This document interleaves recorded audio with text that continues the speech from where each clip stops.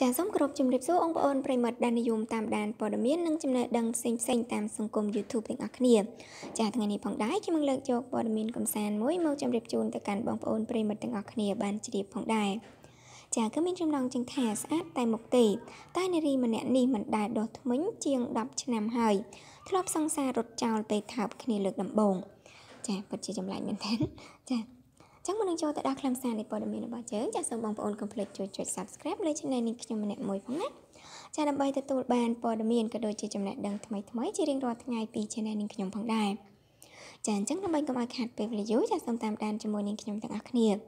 ចានារីជនជាតិកូរ៉េម្នាក់មានឈ្មោះថាជីយុនចាជីយុនជី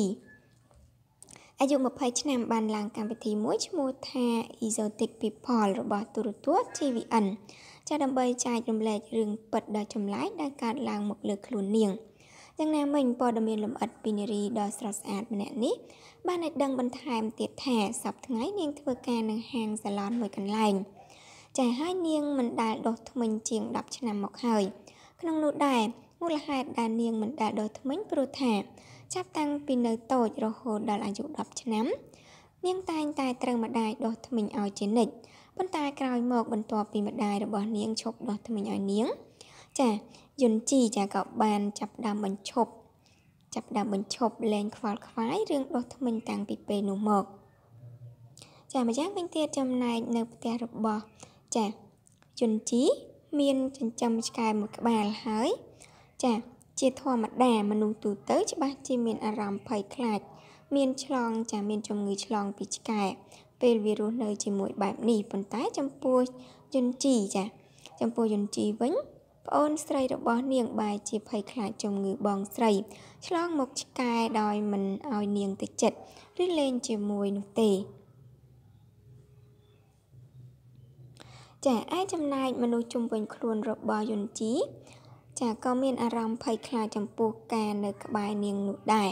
ជាទូទៅថ្មិញរបស់មនុស្សម្នាក់ម្នាក់ចាអាចនឹងលេចពណ៌លឿងចាលេចចេញពណ៌លឿងនៅពេលដែលពួកគេផឹកកាហ្វេឬជក់បារីក៏ប៉ុន្តែសម្រាប់ថ្មិញរបស់យុនជីវិញគឺលឿងរហូតពីចាលឿងហួសពីការគិតរបស់អ្នកគ្រប់គ្នាទៀត ចានាងយុនជីបាននិយាយបន្ថែមក្នុងកម្មវិធីថា កាលពីមុននាងធ្លាប់មានមិត្តប្រុសម្នាក់ហើយពួកគេបានថើបគ្នាក៏ប៉ុន្តែបន្ទាប់ពី2ទៅ3វិនាទីក្រោយមកដោយសារតែសង្សារនាងទ្រាំមិនបាន ជាមួយនឹងក្លិនក្នុងមាត់នាង លោកក៏រត់ចេញភ្លាមភ្លាមបន្ទាប់មកពួកគេក៏បានបែកគ្នាដោយលើកហេតុផលថាមិនអាចទ្រាំនៅជាមួយមនុស្សដូចនាងបានទេ ចាលើពីនេះនៅក្នុងកម្មវិធីនេះផងដែរលោកគ្រូពេទ្យថ្មិញបាននិយាយថាក្នុងមួយជីវិតធ្វើការរបស់លោកលោកមិនដែលឃើញមនុស្សដែលធ្វើបែបនេះនោះទេ ហើយមាត់ថ្មិញរបស់នាងយន្តជី